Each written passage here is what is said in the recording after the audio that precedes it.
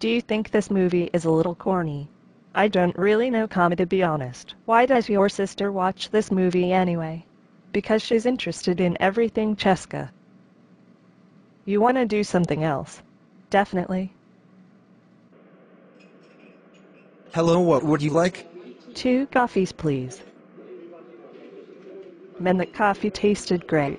I know, right? Anyway, Kama, I'm sorry that I let my sister give us that CD. It's okay, Lucinda.